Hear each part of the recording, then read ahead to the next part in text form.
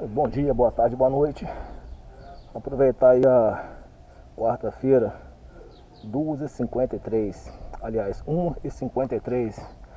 Vou dar um pulo ali até Dores, na comunidade do Rochedo, para estar mostrando para vocês aí a fazenda, três estados. Se liga aí. Vou estar tá seguindo aqui agora comunidade do Rochedo, que pertence aqui a Dores do Rio Preto. Então pega essa estrada de chão, vou passar pela comunidade do Rochedo, vou até ali, ó, Fazenda, Três Estados.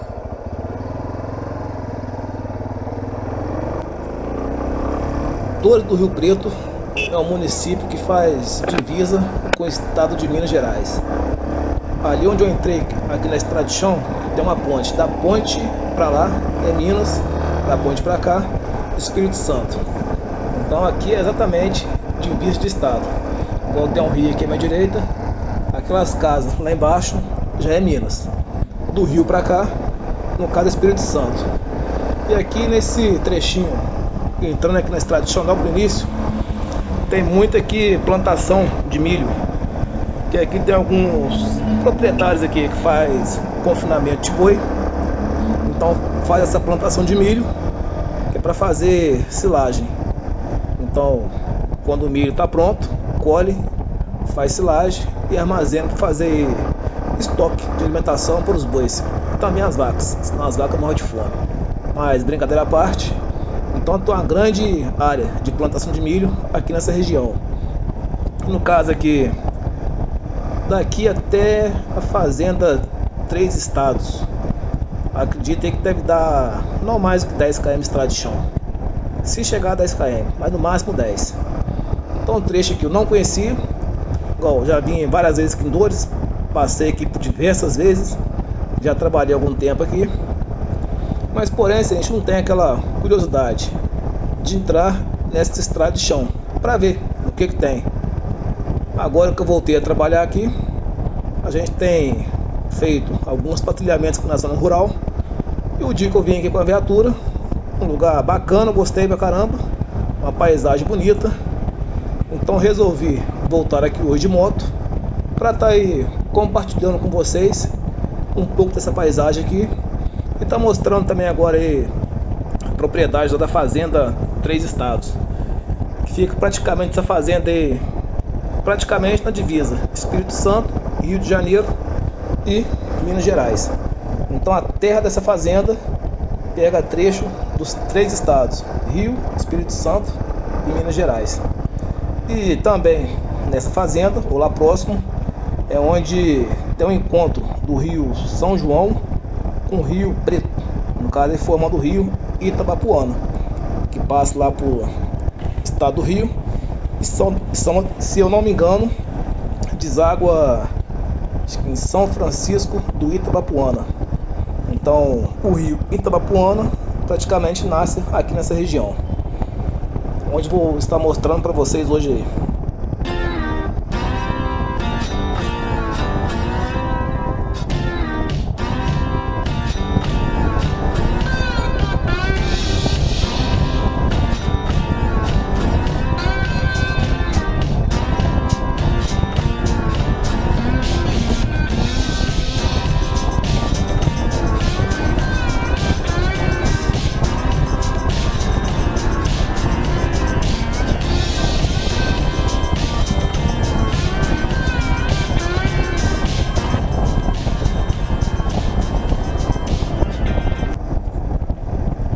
Agora logo aqui à frente tem aqui um pequeno, uma pequena comunidade, um vilarejo, um caso com a igreja católica e algumas casas, algumas propriedades. Um lugar até bonitinho, próximo à rua, porém afastado. Então para quem quer sossego, que mora aqui, é um lugar bacana. Não muito longe, tem um sossego da roça, próximo ao asfalto e à zona urbana. Então aqui quando, aqui na frente tem a encruzilhada, onde eu irei pegar para a minha esquerda e tocar em sentido comunidade do Rochedo. Se não me engano, esse nome Rochedo, quando chegar lá vocês vão ver. Você acaba de subir o morro, dá de cara com uma, um pasto, né? Uma montanha, uma pedra enorme, até bonita. Então, no caso aí, daí deriva o nome Comunidade do Rochedo. Agora aqui eu pego a minha esquerda. Aí se seguir aqui para minha direita, nunca fui. Mas qualquer dia também vou vir de moto aqui e explorar essa região. Pegar a direita ali e ver onde vaza. E tá aí compartilhando com vocês também esses momentos aí. E vamos aí descobrindo junto e explorando junto um pouco aqui da região do Caparaó, Guaçuí, Espírito Santo e Redondezas.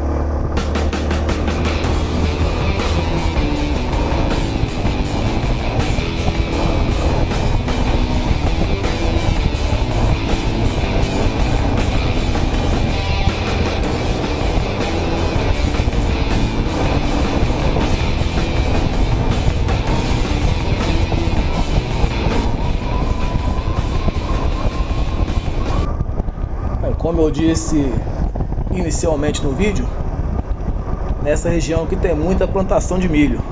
É, como vocês podem ver novamente aqui, uma área bem extensa, uma enorme plantação de milho. E logo ali à frente, se não me engano, tem um curral também,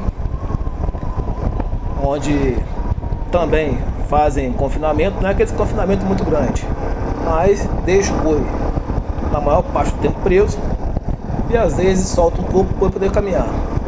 Mas aqui tem muita produção de milho nessa localidade, que é para fazer a silagem.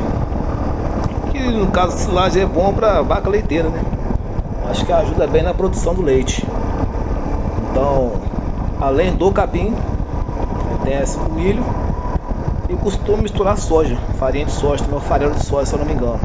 Para aumentando um pouco a proteína falam que ajuda também na proteção, na produção do leite. Então, aqui também é só um pouquinho de cultura. É, novamente aqui ó, o rio que divide os estados, Espírito Santo e Minas Gerais. No caso aqui é a divisória, onde passa o rio. E lá na frente, onde tem a fazenda Três Estados, aí já entra a divisória Espírito Santo do estado do Rio de Janeiro. Então, Peguem praticamente os três estados e fazem divisa. Novamente, ó, essa produção de milho aqui é enorme. Não sei se dá para ter, pra ter uma dimensão do tamanho da plantação. Uma casinha bacana aqui à minha esquerda. Deve ser do dono aqui. Não sei se mora aqui ou não. Só é, só é a casa de vir passar final de semana. Mas aqui, esse trecho aqui, a estrada que dá acesso. Então, essa paisagem bastante bonita. E para quem gosta de um contato com a natureza, é um passeio que vale a pena fazer. Tá conhecendo aqui a região. Não é muito longe, tem pouca estrada de chão e a vista às vezes compensa aí a viagem. Pô, passou um cachorrinho ali atrás de um preto à minha esquerda. Na hora que eu passei, olhou pra mim com a cara de, sei lá, lobisomem,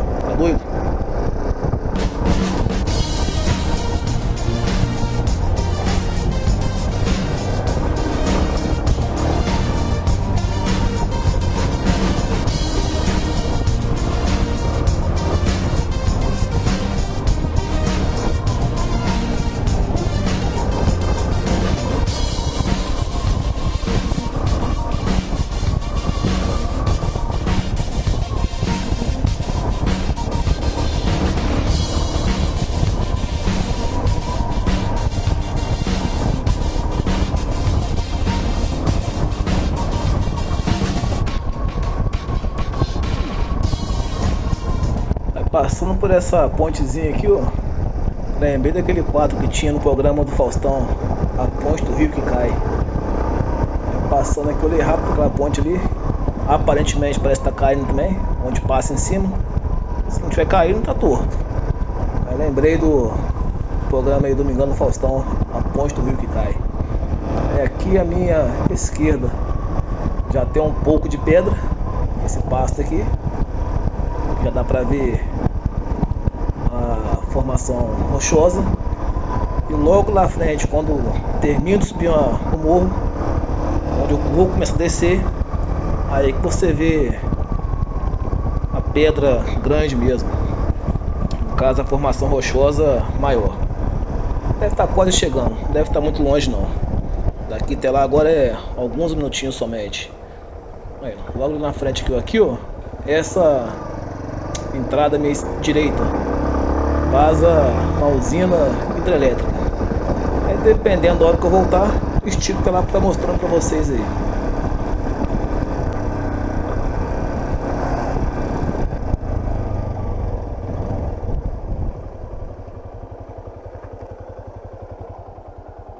E aqui tem esse nome Comunidade do Rochedo, justamente por causa dessa pedra aqui.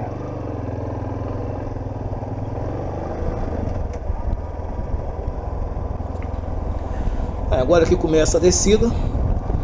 Não sei vocês aí assistindo, mas pessoalmente aqui a vista é linda. Esse paredão de pedra aqui à minha esquerda, Aí logo abaixo desse paredão de pedra tem tipo uma planície, se forma como se fosse um vale. E a vista daqui, pegando essa montanha rochosa, esse vale lá embaixo, lá nos fundos, a floresta, é uma vista top. Lá aqui embaixo aqui, ó, tem algumas casas, aqui à minha esquerda, aí, inclusive, inclusive tem até um sargento aposentado que comprou uma propriedade aqui e futuramente pretende morar aqui. Olha, olha a vista. Foi espetacular, espetacular. Só você passando aqui para você ver. Às vezes, igual eu falei, pelo vídeo, às vezes quem está assistindo não tem uma noção de como isso aqui é bonito. Eu estou passando aqui de moto, eu estou tendo uma sensação, estou tendo uma vista daqui privilegiada, assim tento compartilhar com vocês aí tento compartilhar com vocês o máximo que eu posso. Então, às vezes, assim, são regiões, locais próximo da gente que a gente às vezes desconhece, não sabe que existe, ou aquele mau costume também, digamos, do brasileiro. Às vezes foca em conhecer outros lugares, outros estados ou outros municípios, e às vezes, dentro do nosso quintal, tem lugares espetacular pra gente estar tá conhecendo, tá explorando e acaba não indo, passa batido. Igual eu tenho 36 anos e não conheci essa região aqui. Vim conhecer agora, esse ano, alguns meses atrás. Alguns meses não, mês passado, se não me engano, esse mês que eu vim conhecer esse lugar aqui.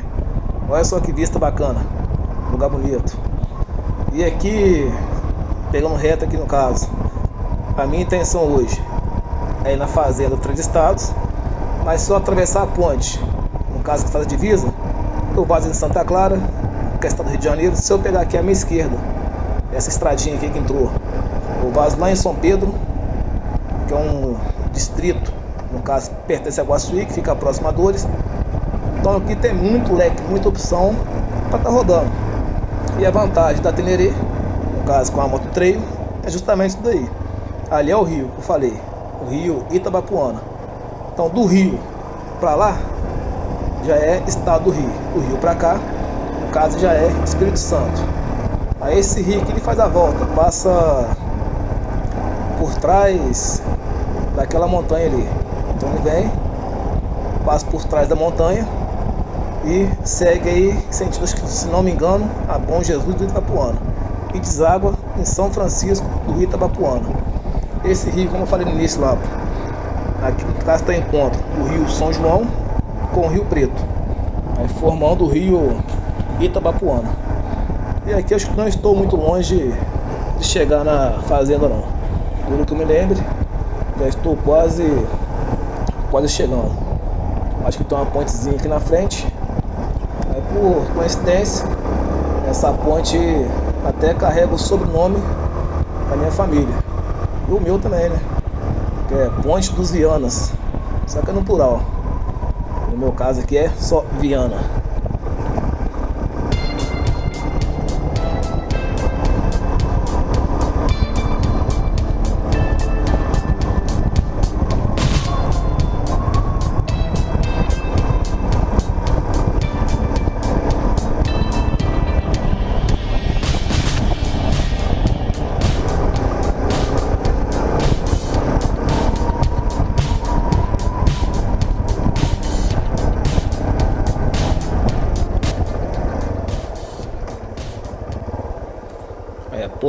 Exatamente aqui, ó. Plaquinha, fazendo três estados e ponte dos Vianas, que é aqui, à esquerda. E só entrar ali, quase lá em Santa Clara, que já é estado do Rio. Então, os Vianas aí fazendo parte da história também aqui da região. Pode ser coincidência ou não, mas de qualquer forma, os Vianas estão marcando território.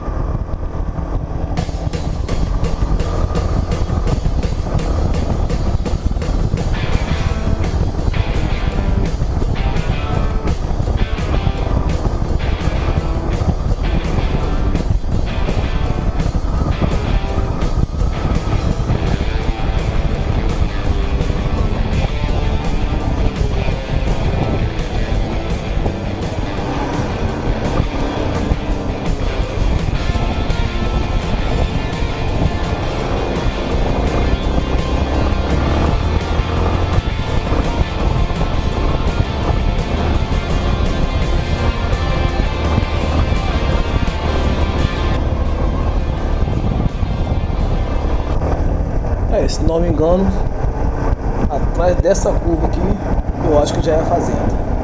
Então, praticamente chegamos. É, realmente chegamos. Chegamos na fazenda Três Estados. Vou parar a moto aqui. O dia que eu cheguei aqui pela primeira vez, estava até de serviço. Aqui estava aberto, mas porém o dono estava aí. Então tá aqui, Fazenda Três Estados, que é uma divisa Espírito Santo, Rio e Minas Gerais. Então tá fazendo aqui agora uma filmagem aqui com a câmera um pouco melhor.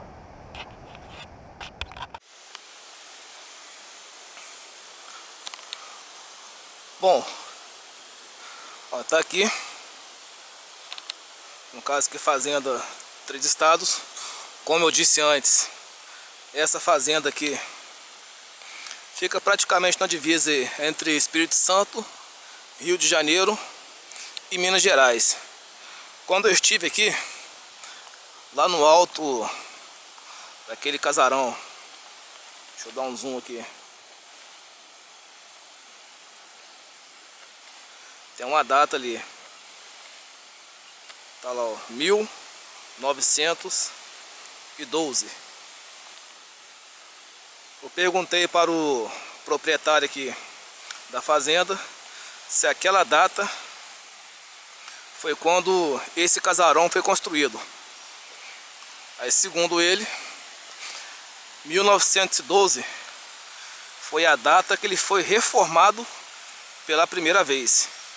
Então esse casarão aqui tem na verdade mais de 200 anos ou mais de 150 anos, segundo o proprietário, que pertenceu ao seu bisavô, aí passou para o seu avô, seu pai, até chegar na mão dele.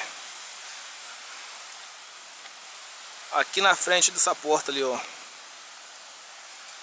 a ideia dele é fazer um arco com a entrada de flores. Então para quem chegar aqui passar por baixo. Aí aqui tá plantando algumas plantas também, acho que algumas uvas que ele trouxe do sul. Que vai estar tá plantando aqui também. Vou tentar focar para vocês aqui Naquela cachoeirinha lá, ó. Deixa eu dar um zoom aqui na câmera, pera aí. Essa cachoeira aqui, ela não tinha, não existia essa cachoeira aí. Essa cachoeira, na época dos escravos, então tem bastante tempo. Atrás dessas matas que passa um rio, lá nos fundos, então os escravos foram desviando a água do rio provavelmente com enxada. Foi desviando até chegar aqui, onde fez aquela queda d'água. No caso, corre por ali, ó. Aí por baixo ali, ali é uns pés de zabuticabas. Aí logo por baixo tem tipo como se fosse um laguinho, onde a água desce e segue seu curso. Então tá aí, ó.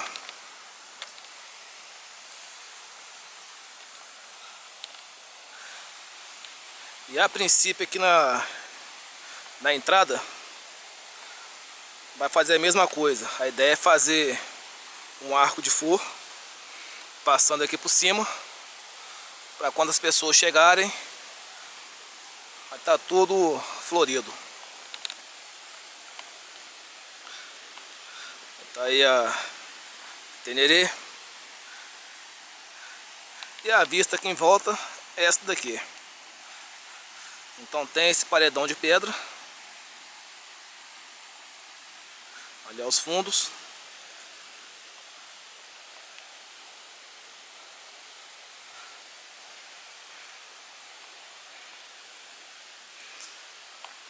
Aí o atual proprietário aqui desse casarão. Ali até quando eu tive aqui, entrei lá dentro. Tem muitos móveis ali dentro que é da época ainda dos seus ancestrais, seu avô, seu bisavô, algumas camas, piso. Então assim, ele reformou praticamente a casa toda. Até me mostrou as fotos antigas. Essa frente aqui estava toda acabada, suja. Janelas, a maioria estava com o tempo foi meio que apodrecendo. Então recuperou e fez um excelente trabalho de recuperação aqui. Deixa eu tentar mostrar aqui para vocês mais detalhes aqui, ó. Ah, não dá pra ver. No caso a cachoeira ali, ó. Aí tem esse laguinho. Que é por onde a água da cachoeira segue seu curso. Aqueles pés, essas árvores aqui são pés de jabuticaba. E segundo o proprietário, tem mais de 200 anos esses pés de jabuticabas ali. Lá em cima tem uma estátua do Cristo Redentor.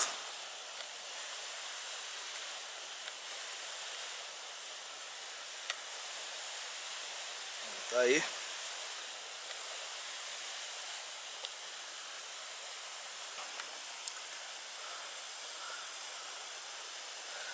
para quem gosta, digamos aí, de natureza, aqui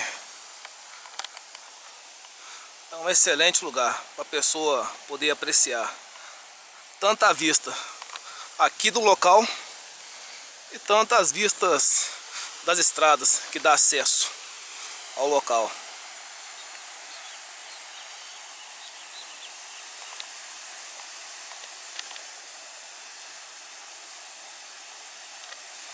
Essas telhas aqui, pelo que ele falou, é as mesmas de quando o casarão foi construído. As telhas são as telhas originais ainda.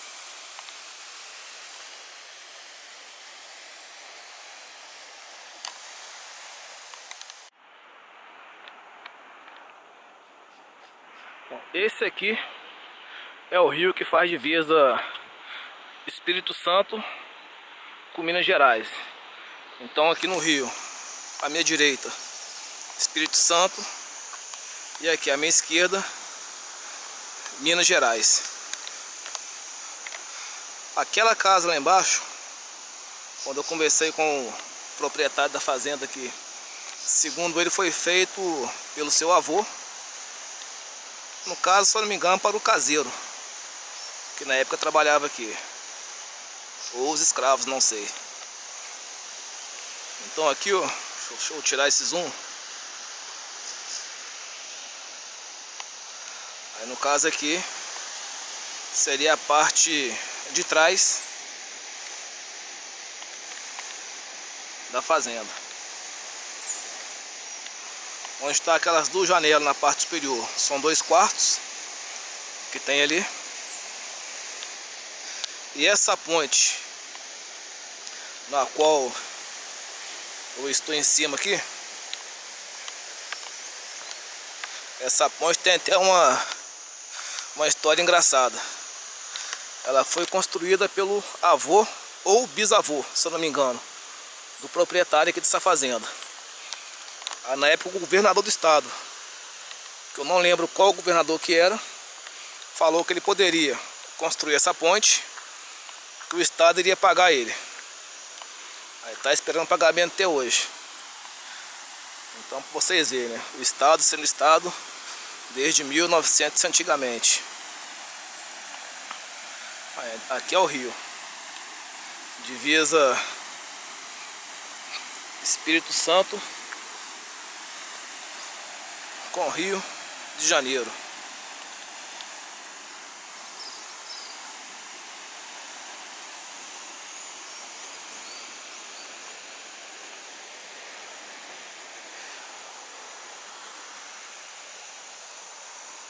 Agora uma dúvida. Eu estou exatamente no meio do rio. Onde eu estou? Rio de Janeiro ou Espírito Santo? Então já que eu estou até aqui, vou aproveitar para dar um pulo aqui no Rio de Janeiro.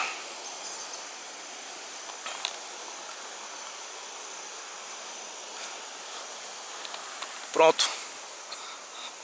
Essa estrada aqui, se pegar ela, seguir por aqui, se eu não me engano, base lá em Santa Clara. Só que, porém, já é um pouco mais longe. Tá aí, ó. Uma casinha abandonada. E daqui de dentro dessa floresta sai um outro rio. Onde encontra com esse aqui. Esse aqui, se eu não me engano, é o rio Itapemirim. Que é o que segue para o estado do Rio e deságua, se não me engano, em São Francisco do Itabapuana.